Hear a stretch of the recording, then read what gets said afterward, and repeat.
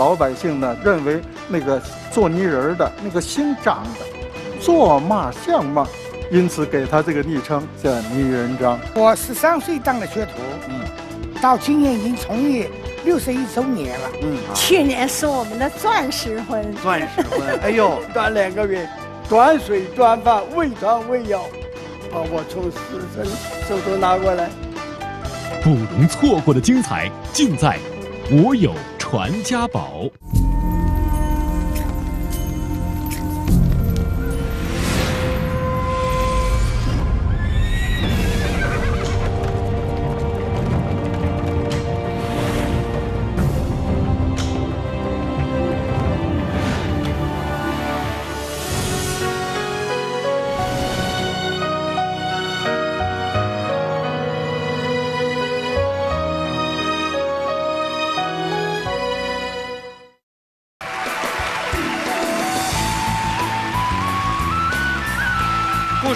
家风家训，宝物里的文化传承。各位朋友们，大家好，欢迎大家收看我们今天的《我有传家宝》。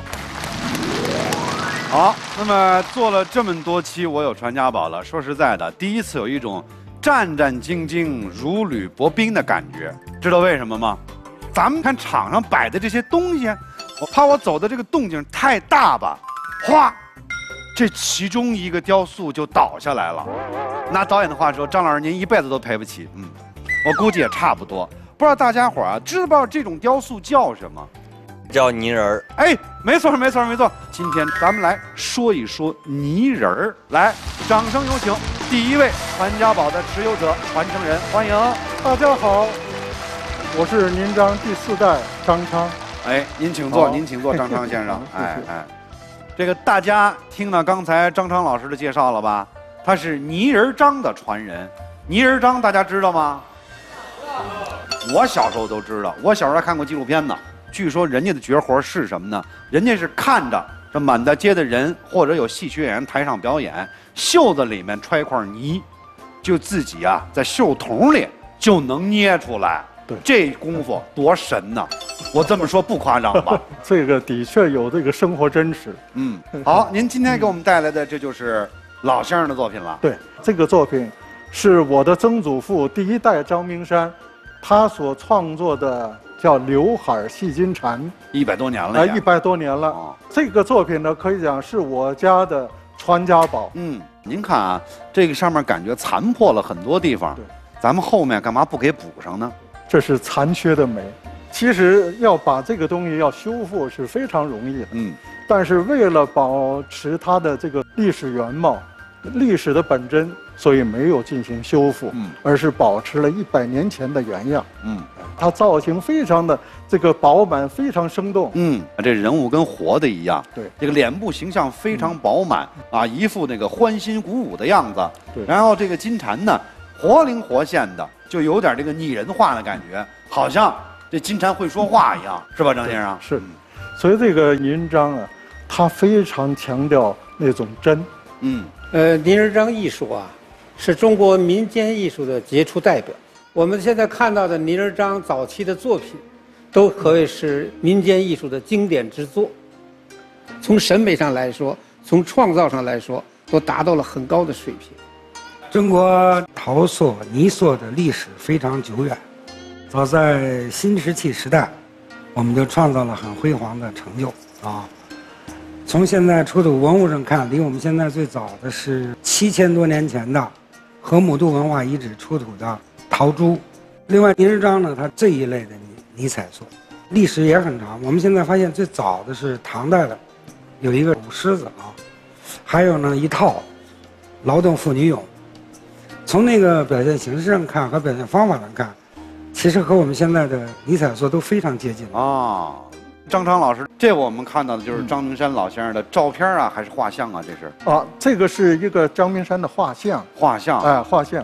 哎呦，老先生可不像一手艺人 啊，像一官绅一样啊啊！张明山呢，出生在一八二六年的浙江绍兴。哎，他的父亲呢叫张万全，原来是一个小的书吏，后来呢，他就随着这个县官呢赴任到这个河北的深县。啊，以后呢，由于这个县官呢去职了，这样呢，他就流落到天津，主要是教私塾。嗯后来在他的家居附近呢，有很多的那种窑厂，嗯因此有取之不尽的那些个泥土，是吧？因此他就用那种粘土来制作一些个小的文玩、小的玩具，来上市场去寄卖，形成他自己的一个生活补贴。啊，所以这个张明山呢，就在那么一个家居环境里边来成长、长长大起来。哦。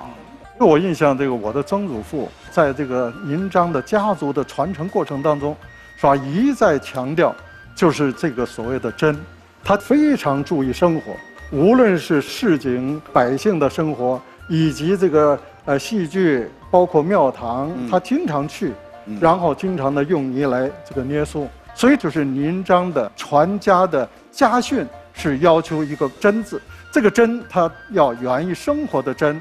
去多看、多思、多练。哎，好，那讲完了张明山先生的故事呢，我们看台上啊，咱们今天琳琅满目的东西真是不少。对，大家所看到的这个作品，嗯，是我的祖父张华堂他塑造的三百六十行里边的其中一个算卦。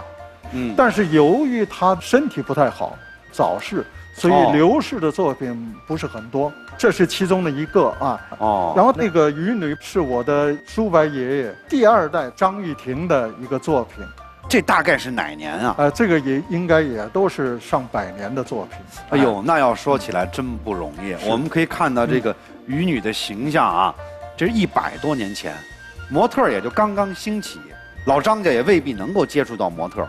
但是您看到没有，身材比例啊，这个当时老先生是怎么掌握？就是说，泥人张之所以生动，其实他强调了一种真实。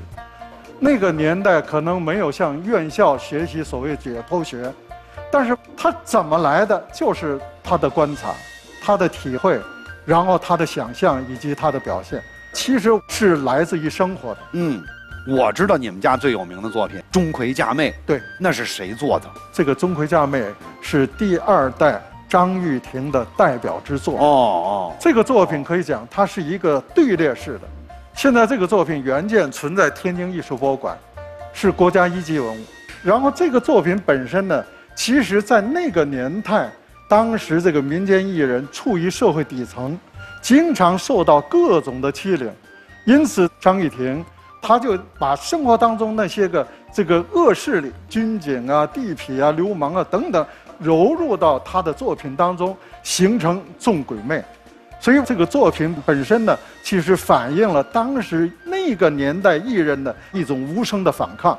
当然，正因为这样，所以国外的学术界给予非常高度的评价，说它是这个近现代批判现实主义作品。所以，国外扎伊尔等等一些国家还把它作为这个邮票进行发行。所以，他的这个作品呢，是影响力很大的。也可以讲，第二代的代表性传承人应该是张玉婷。啊，就是泥人张第二代的代表人物是张玉婷，啊张玉婷，而且我的父亲的学艺，嗯哎、也是跟我叔伯爷爷啊张玉婷学成，嗯，所以我从小对这个泥土就怀有感情，泥人张啊，他的头手是可以分的，可以拿下来的，都是活的。对，啊，单独的绘制。请继续收看《我有传家宝》。您父亲后来是到北京来工作了，是这样，啊，可以讲，您张呢，在建国以前，这个已经面临着艺尽人亡。这么好的手艺，哎，因为连年的战乱，林章的后人几乎都改行了，哎，要么人已经去去世了，仅仅剩下我的父亲举步维艰的在坚守这个阵地。到了四九年一解放，哎，第二年我父亲就应总理之邀，从天津调到北京，在中央美院工艺美院，嗯然后从事这个您章的传承，嗯哎和这个创作工作。嗯，这个发展正像这个郭沫若先生，曾经在六三年首届您章展览所讲到的。他说：“用泥造人手女娲，名山泥人锦上花。昨日造人只一家，而今桃李满天下。”高度概括了您章的发展。哎呀，您今天给我们带来的武松的作品，就是您父亲的作品了。对，然后这个作品本身呢，其实还有一个趣闻。曾经我父亲，哎，有一次他外出这个办事儿，我随着他一块儿去，哎，坐在公交车上，骤然间发现路上哎有一些个人的围观，而且中间呢有人在打斗。然后我父亲看到以后呢，就当这个公交车停下来，马上哎他就下车跑回了那个原地，然后仔细的看那些人。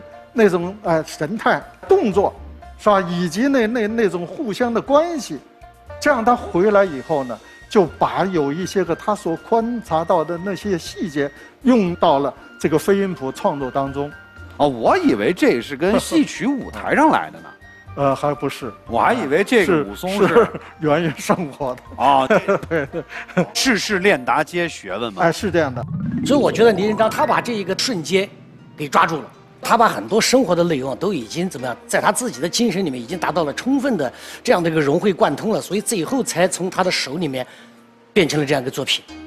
而且我们会看到怎么样，看到人物的内心，甚至能够看到这个人物他自己的生平、他的历史、他的教养、他的气质。所以从艺术的角度来说，林仁章确实让我今天非常非常的震撼，真的非常了不起。嗯，印象颇为深刻。嗯，非常非常深刻。哎，张昌老师，那您本人我看。相关背景介绍不仅仅是倪仁章的传承人，同时也是这个美院的教授。对，我是可以讲从小是吧，就受这个这个这个家学的影响。我出生在一九四二年的这个天津维托庙东街三号小院嗯，那个小院就是倪仁章几代人的出生地和工作地，所以我从小对这个泥土就怀有感情。当然以后这个正式学习。是从这个我初中毕业以后，是吧？然后开始学啊。当时我父亲呃也强调，一定要多看、多思、多练，这样你才能把握。可以讲是受到了家学的熏陶。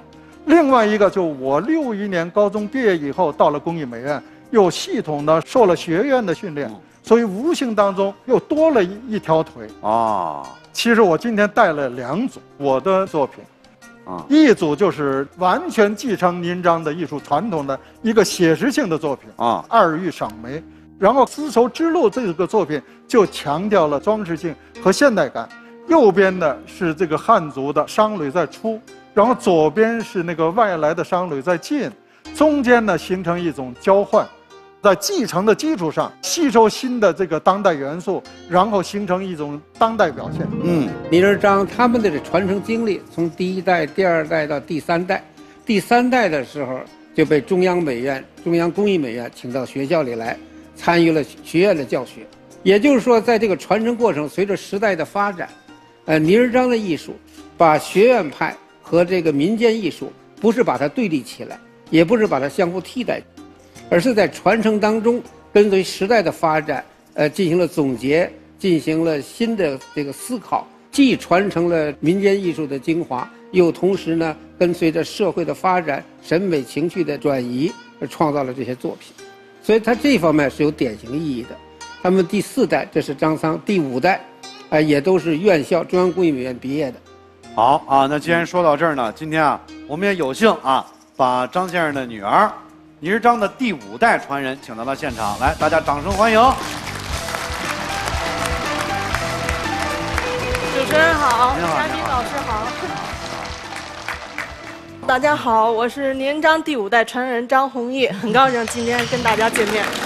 来，您二位请。好，谢谢。啊，张女士给我们介绍介绍这幅作品。呃，这个是我做的一件作品，是对我爷爷的一个回忆和纪念。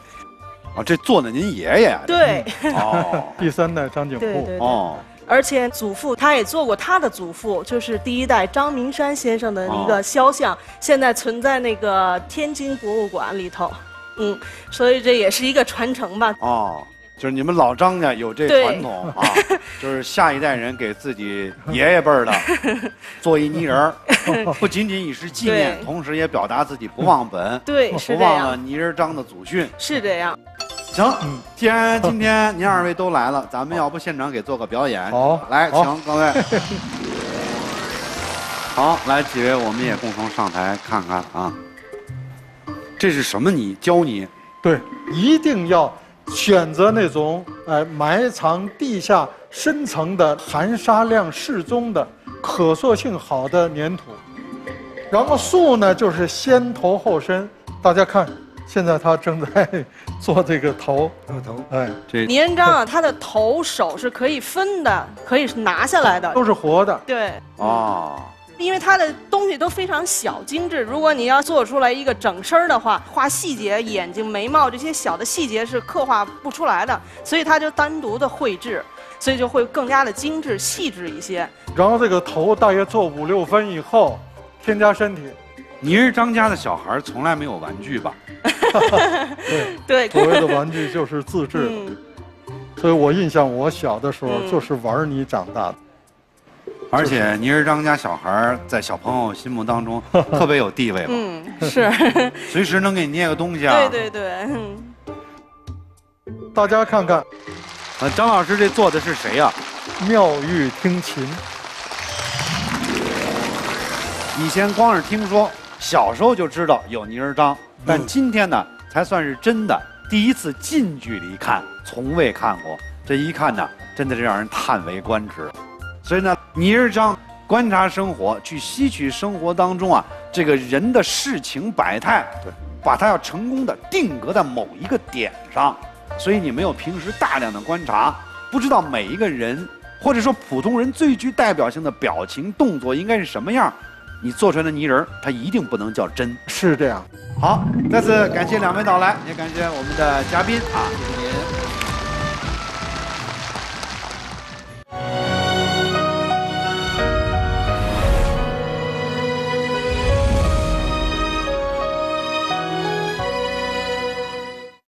今天上场呢，我很吃惊。为什么吃惊呢？这是一种我非常非常喜欢的瓷器，或者说呢，这也是我当时初出茅庐刚开始做节目的时候啊，首先接触到的一种瓷器啊。有没有人知道这种瓷器啊？它的学名叫什么？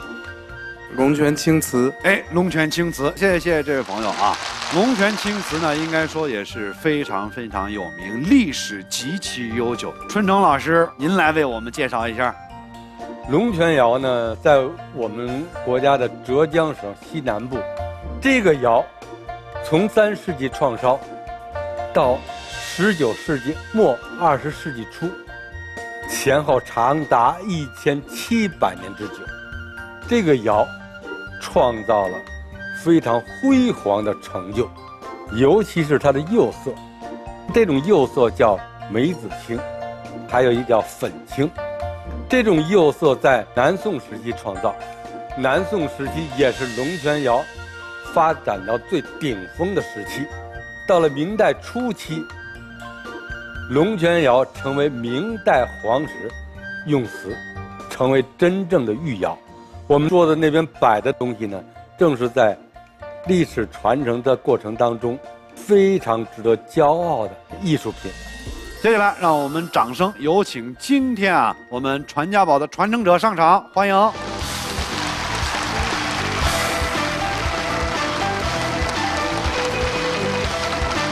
好先，生您好，您好，您好，您好。麻烦您先为大家介绍一下自己。大家好，我叫徐朝新，来自浙江龙泉，我是一个老陶工。嗯，您这个说法也实在是有点太客气了啊。因为我十三岁当的学徒，嗯，到今年已经从业六十一周年了。嗯，哇，你小时候看着好洋气哎。当时一九五六年吧，我跟着我爸爸步行八十多里山路去当的学徒，走四十公里啊，那不走一天呢？走了十个小时。当时呢，我个头比较矮，当年是工会主席，他说你不行不行，你这么小来当学徒，学多了以后再来。当时呢，可能小孩子玩泥巴就是我的天性，嗯但是车间不是像现在四周是土泥墙，没有门的，我们可就跑进去玩。那么就一两天的我像不像样，能做起来。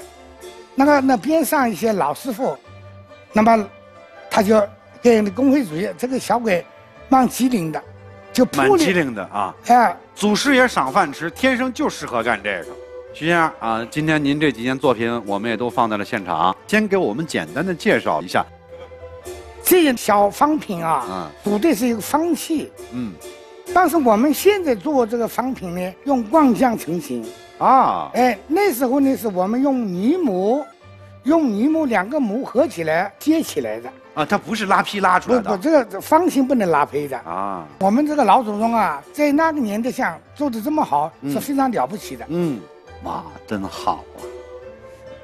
嗯，像这个小盘子呢，边上手拉坯的痕迹都还在。嗯，包括我们那时候的它里面的装饰呢，它这个荷花，嗯，像这些呢，头饰一样，很哦随意的，哦再高一个一点，做一哦个装饰手法。哦，这个盘子在拉坯过程中，有些褶皱的痕迹。那么这道痕迹实际上就是炼泥过程中炼的不是很到位，所以在拉泥过程中会拉出一些褶皱的痕迹。这个恰恰是历史上的一种工艺现象。这件东西又有薄，而且里边画的荷花，这个壁纹啊只有戳的痕迹。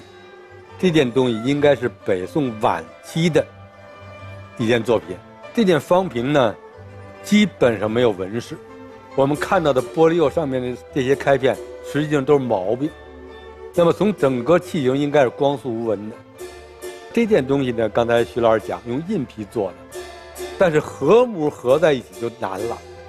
如果你在合模过程中手法轻重不一，在烧造过程中由于收缩和膨胀，它会开裂。这件东西应该说是当时的一件上品，也是南宋时期的一件青瓷。这四位左边第二个是我的师傅，叫李怀德。哦，这这边是我，是我的师傅。他说：“朝鲜啊，既然选择这个职业，就要坚守执着，嗯一干到底。”嗯，师傅这句话的影响我一辈子，一干就六十一年。那是您刚一入场，也就是十三岁，一九五六年的时候，嗯就是做青瓷吗？当年我做百尺两边玩，嗯那么就是五七年总有这个指示，嗯，要恢复龙泉青瓷。从民间召集了五个老艺人，嗯包括我的师傅。嗯那么从五十几个学徒当中，选拔了三个学徒，那么进这个仿古小组。嗯，那么我是八个人仿古小组里面最年轻的小学徒。十五岁啊，对啊，十五岁就开始承担国家任务，一般人想都不敢想，那么多老师傅呢，对吧？当年呢，我在厂里做白瓷蓝边碗，嗯。我因为我动手能力还比较强的，嗯。像我十五岁，那个时候我每天最多手工做做八百多个，拉拉坯拉八百多个，八百多个碗。对啊，我的两只手是接手的，我不会按部就班，这个这个拿过去，再拿过来，再拿过去，我是两手并用的，这样拿，就打这个时间差。这手眼协调能力多强啊啊！现在您拿的这件东西呢？这件东西是我二零零五年创作的，啊，因为我二零零六年我是重幼六十周年，嗯，我就做了这个粉盒，哦，粉盒就是女同志保做化妆品那个粉盒，当时我跟着做器型给它做大，嗯。像这个口径呢是二十二点五公分，那么我这个粉呢相对比较精密度比较高的，可以讲是纹丝不动的，哇，纹丝不动的，口沿上用水灌下，口沿能转起来不能吧？啊。等一下我瓷器能可以试做到密封性这么好啊？可以试试给你看一下。好，好，好，麻烦我们工作人员给我们拿瓶水上来。我们也请我们的两位嘉宾上前欣赏。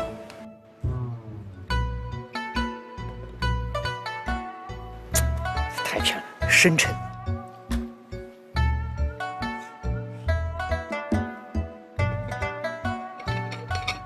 啊，哟，我的天哪！大家可以想象，我们这个青瓷在窑里面时间经过一千三百亿的高温烧成这样子颜色风，就太难太难。我天哪！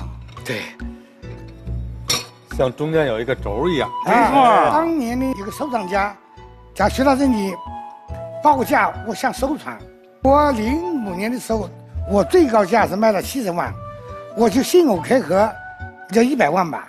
现在才到东西好贵了一点。假如说当天成交了以后，我现在终身有遗憾。嗯，您的意思就是让您再来烧，也未必能烧出这样的。我真的在那一年做了将近做了十件半成品，哦，就没一件达到这个水平。嗯，有的太紧密打不开，有的是太松动。那么这件东西从那以后，我就取名叫天赐粉格，就上天赐给我的。哦天作之合啊有人工还有天力，真有运啊！要天时地利，还加上运气。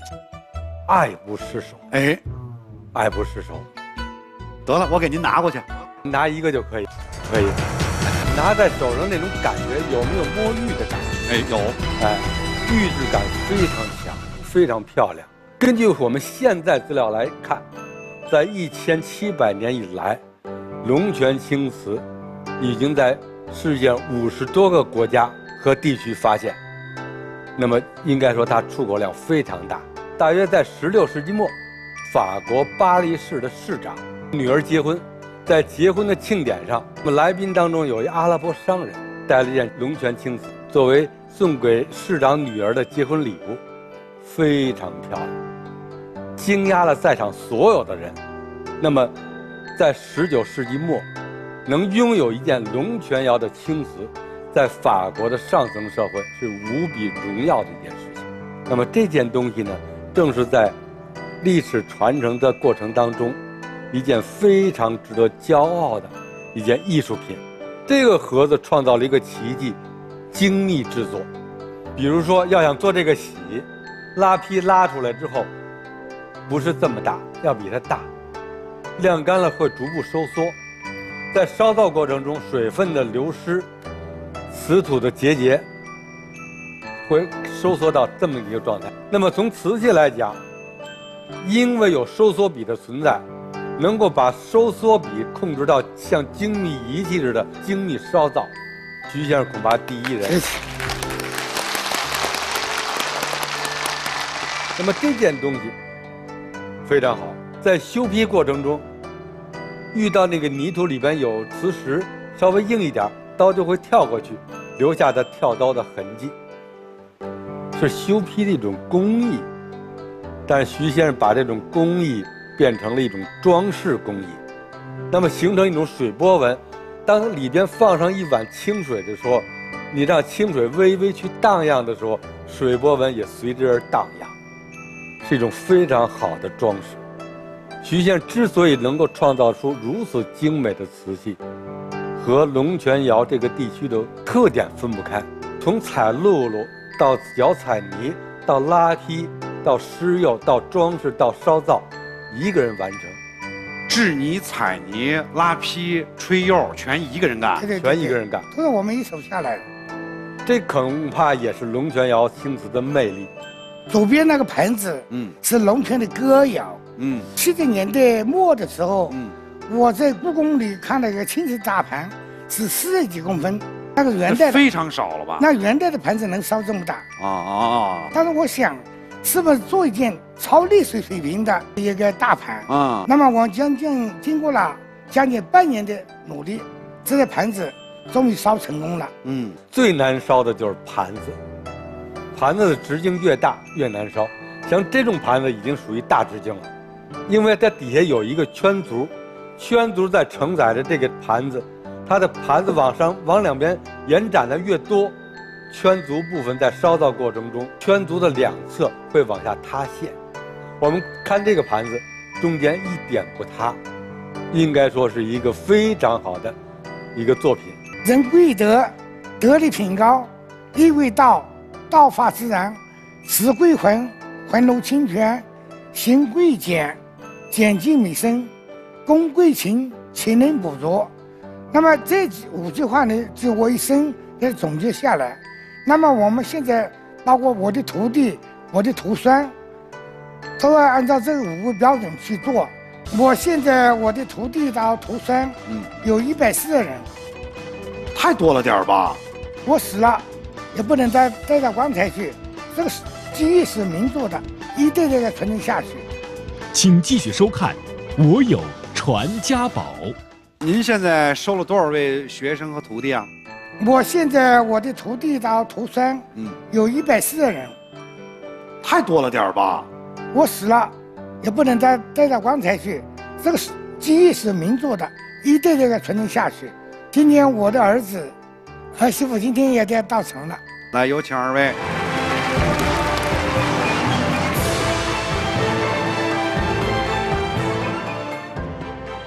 大家好，我叫徐林，这位是我爱人朱娜雅。啊啊，您好，您好，这个二位给我们介绍您二位的作品呗。我的这个作品名字叫《秋韵》，就是利用龙泉青瓷的歌谣跟地窑的泥脚胎成型的一种比较写意，有点意思，有点意思。就是秋韵这个，就是秋天那种树叶甜甜的味道。嗯嗯，好好好，来。嗯，我这件作品的名字叫做蕾，它就是一个花苞的形状。那么我选择了就茶花，茶树的茶花，因为它那个花苞啊还没有盛开的时候，那个花苞的球状，它很像一个罐子的，其实，就是这种来源于这种自然界的这种植物的这种形态，给我的一个启迪和灵感。这个器型呢，它实际上也是拉坯成型的。这拉坯拉出来的？对，你自己拉的？对对对。对，呃，就很女孩子拉坯啊。对对，我厉害啊！并且大的都都能拉。嗯，呃，拉坯它实际上是一种技术，运用的好的话，它是不需要使用蛮力的。老先生怎么看儿子儿媳妇这两件作品？他们两个人都是省级大师，这么年轻省级大师啊！我们现在三个人风格都不一样。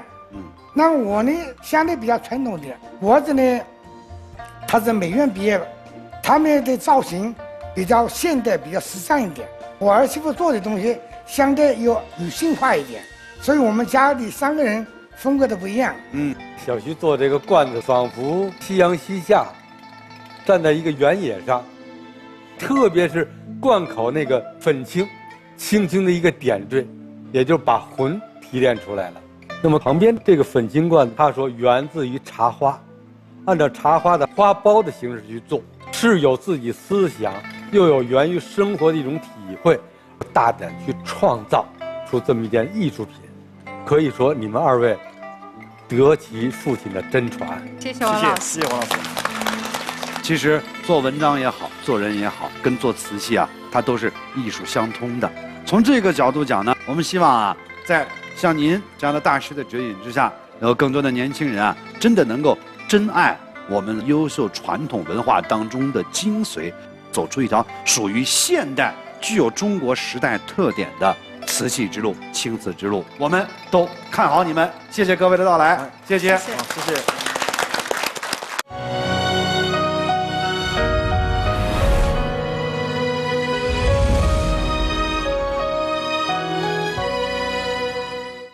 那么接下来呢，在我们这个环节当中，即将登场的呢是两位啊，应该说值得我们学习的好榜样。他们呢是一对夫妻，两人呢相爱在一起已经有六十一年的历史了。今天呢，两人已经年逾八旬多了。来，掌声有请我们今天的这位这一对模范夫妻，欢迎。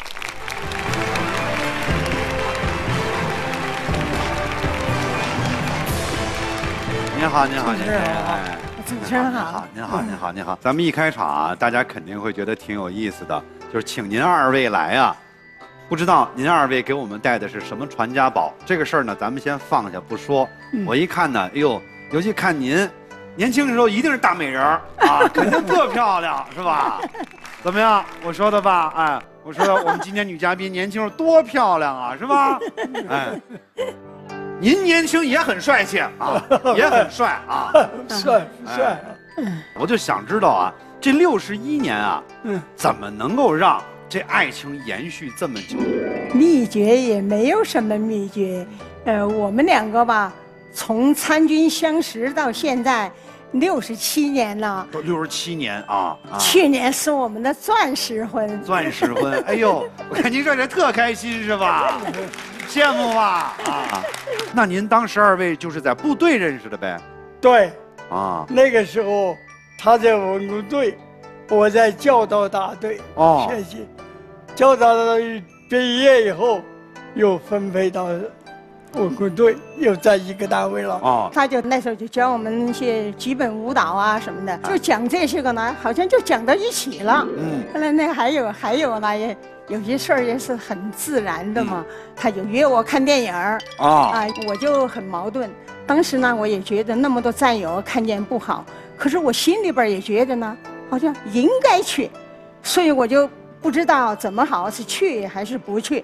哎，我一想怎么办？我一想耗时间，我就上电影院去看个电影。等等等等，他约您去看电影，您没跟他去，您自己先看了一电影。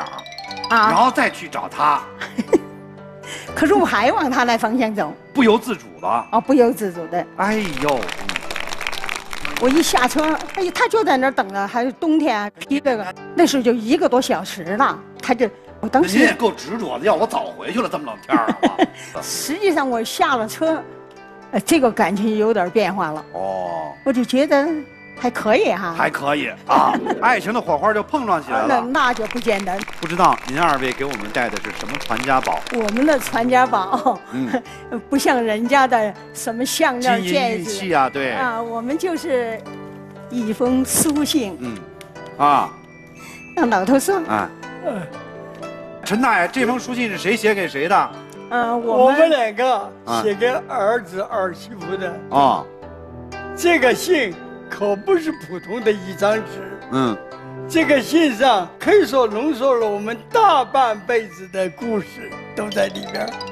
哎，哦，我给你念一点哈，嗯，陈华、秀云，陈华是我儿子，秀云是我儿媳啊。我们将节衣缩食几十年的储蓄，捐建希望小学，立下了遗产捐献希望工程。遗体捐献医学研究的遗嘱，你们是理解的、支持的，当然也会有些想法。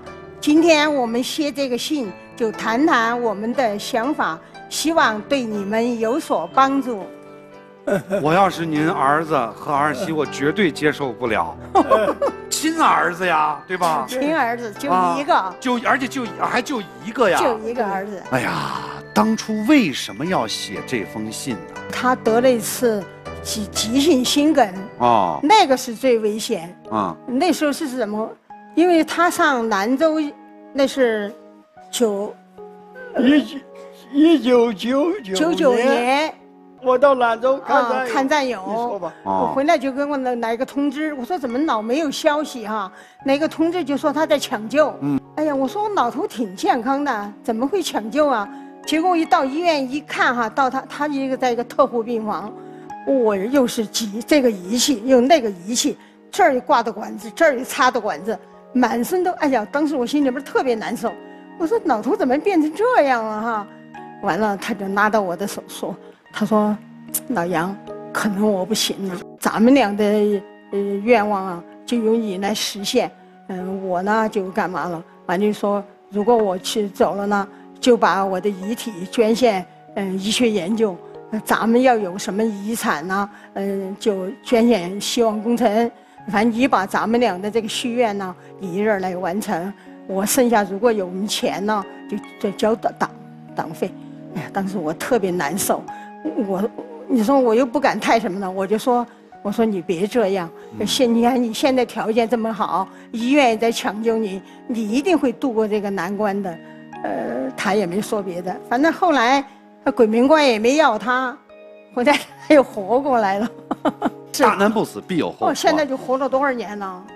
活了十七年了。我们在感佩人家的一生啊，这种非常甜蜜的爱情生活的时候啊，哎，我们要为人家生活当中的另一件事情而感到感动。感动什么呢？老两口建立了这两所希望小学，三十多个图书馆啊，嗯，帮助了可能几百上千个孩子了吧。都不止了吧？那一个学校至少得有好几百个孩子吧？对。哎呀，当初为什么要建立希望小学？那个时候，我们军就是解放延安啊。我得恶性疟疾，部队下去执行任务，至少俩月，怎么办？带不了我，就把我安排到房东何伯伯家里边啊，端两个月，端水端饭，喂汤喂药。把我从死神手中拿过来，你说这个人民的恩情，我能够就永世不忘吗？那您是应该报答他们家就够了呀。何婆婆是雅安人民对人民军队热爱的一个代表。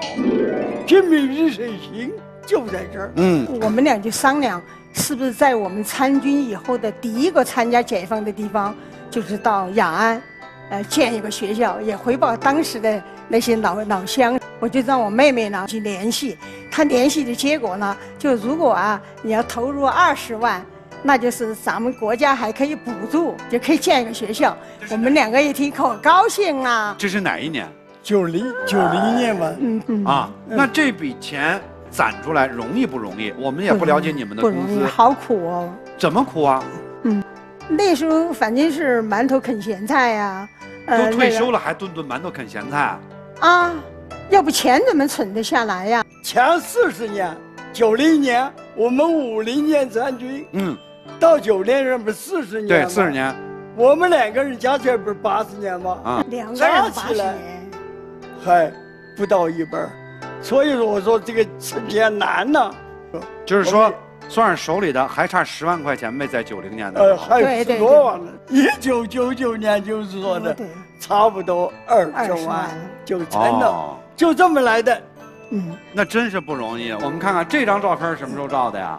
哦，这个这个照片，两千年，两千年，两千年，学校有的修起来，都修起来了啊！孩子们来信，哦，我们在那儿看信，嗯嗯。后来前些日子我一看，这还挺有意思。嗯，我们俩说，现在咱们俩都老了，咱们再造一个嘛。反正我们又造了一个，结果这次造的就白头发了啊！你看这有白头发了吧？这个衣服有五十多年了，它那个袖子吧，这个叠的都都破了，我就给它剪了，剪了我就给它卷起来，卷起来又给它缝上了。到现在他还穿，我们出来就不穿了，在家里边穿。大家注意一下没？这沙发都没换过。对对，这个沙发，嗯。还是都掉了漆皮了，请客人坐的，我们自己一般都不坐，都挡着了。嗯我在职的时候买的了。对。哎呦，那年代这都掉漆皮了。哇！可是我们觉得能，这种沙发还有吗？这个沙发，这个沙发也有历史了。一个战友帮着我们自己做的，对对对，不是买的，对，做到现在，反正就是。当年沙发一就是这种家具，一般都是家里人自己做啊。对，哎，其实这里边是破的，你看到外边还没看见破的，那里边还好多补丁呢。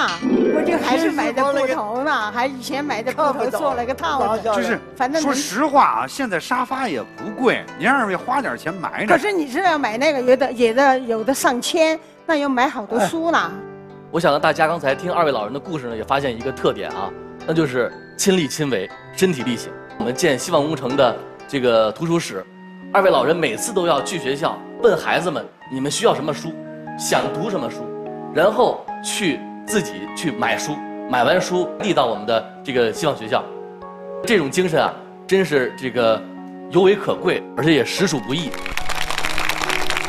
我们可以看看这是历年来孩子们给爷爷奶奶送的礼物啊，给爷爷奶奶的信啊，嗯，这还有用用用草做的，啊，这啊这个还挺有意义的啊。孩子们特逗，就说，嗯，那个奶奶，呃，我们不像你们北京，呃，还有花房，还有鲜花，可是我们呢，呃，我们是我们的后山的，呃，这个山花特别好。他们就晚上下了晚自习，就上后山去采了这这鲜花，就一一数一数的鲜花。他知道我第二天要走啊，就写的信，完了呢再把这个花再给我，我呢就把他们这个花卷呢做成一个那个了。哦，我的家里边还有一大本呢，所以他们都很真情的。家里有电器吗？电器的话，灯泡算吗？十七年，从繁阳从上庐山。二十八次，请收看《我有传家宝》。我看后面这个信说的还是我给你们的是，不留金钱，留精神。金钱只能享受一阵子，精神可以享用一辈子。哎呀，我要是您儿子和儿媳，我绝对接受不了。咱那个问问您儿子儿媳吧啊，这个两位好。他呢是儿子陈华，我呢是儿媳李秀云。嗯。他俩得了一场脑梗啊。那个他们捐款那会儿吧，我们也是跟我们说完以后，我们也是特别不理解。不理解在哪儿呢？一个是你们慢慢岁数一年比一年大，儿子呢也下岗了，身体也不好，所以那会儿呢也是不理解。后来呢，这个希望小学吧，这个孩子真的都挺成才的。嗯，有有些孩子真的都挺成才的，所以我们最后也就理解他们压力挺大，压力也大，我们那个压力更大。为什么？大家小家都得顾，亲生儿子你能不顾吗？对吧？但是你下了那么几十多年决心，那几百个孩子你也得顾啊，那怎么办？苦自己吧，靠自己吧，所以那个时候经常给他们，呃，他们那个送货的车零零碎碎塞去，啊，零零碎碎，米米米面才有，物质上就是说解决他们的困难，渡过难关。还有一个方面，千万别忘了精神这方面。我们陈家的家风，就是人活一辈子，总得为人民。为社会做点什么，这个应该成为我们家风代代相传。咱帮助了可能几百上千个孩子了吧，都不止了吧？那一个学校至少得有好几百个孩子吧？对。我们今天呢也请到了其中的一位，掌声有请啊！这些受过老两口帮助的孩子们当中的其中一位武庆姑娘来上场，来来来。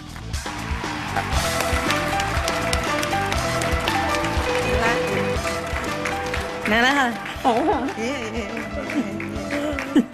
来来来来，咱们坐坐坐坐坐坐坐坐啊！好，你好，武庆哪里人？呃，我是雅安芦山人，就是爷爷奶奶就是捐献的希望小学成长起来的一个女孩啊。现在我们看的这张照片是爷爷奶奶当年去学校，去你家？到他们家，我家。啊，家里非常困难。呃，对，家里面都是务农。家里有电器吗？电器的话，灯泡算吗？不算。哦，没了。除了灯泡，好像电视机、洗衣机都没有。读初中没有，读高中有了。啊，他自己很努力，回家以后还要什么打柴、砍柴、打草。武庆后来大学读的什么专业啊？呃，后来我大学读的是师范专业。哦，就是因为从爷爷奶奶这儿也得到了力量，决定当一位老师，是吗？是因为我觉得当老师可以去影响更多的人。我就是尽可能的教育我的学生。我经常跟他们开玩笑说。我说我可以理解你们成绩不好，因为这是可以补起来的。但是我不能接受你们没有责任感、没有爱心。因为爷爷奶奶就是这个样子，对我们，对包括，呃，所有的社会，他们是很无私的。他们这些孩子呀，现在有好多，呃，毕业以后都回到家乡了，好多他们回去都从事这方面的教育，回报家乡。他们一代一代的成长，一代一代的有。传下去，他当老师再传下去，我们感到无限欣慰。嗯，我们也感到有成就感。嗯，我们的愿望就是这个。嗯，那捐资助学呢，实际上是一种教育扶贫。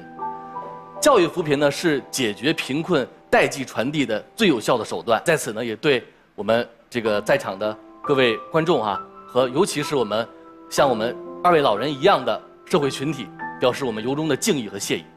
好，谢谢谢谢谢谢。所以我们说啊，传家宝这个东西啊，未必真的是一份实实在在看得见的一个物质财产。有时候我们看到呢，仅仅是几个故事，让我们今天看见的一对可以称之为我们这个时代楷模的夫妻榜样。再次感谢您二位，感谢你们对中国的孩子们做出的努力。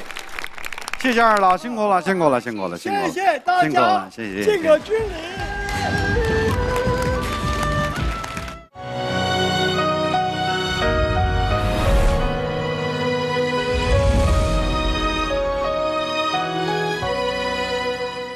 其实今天呢，我们的三个故事啊，有两个啊，都是跟艺术品传承、工艺传承所有关系的。而我们看到的陈老先生和。杨奶奶他们俩的故事就实在是更感人了。两人一辈子勤勤恳恳努力工作，为的就是奉献。而等退休之后呢，又倾尽自己的全力去帮助更多的孩子，让我们看到了无私的大爱啊！好，非常感谢所有观众的参与，感谢诸位嘉宾的参与。我们下期《我有传家宝》再见。夫君子之行，静以修身，俭以养德。引自诸葛亮的《诫子书》。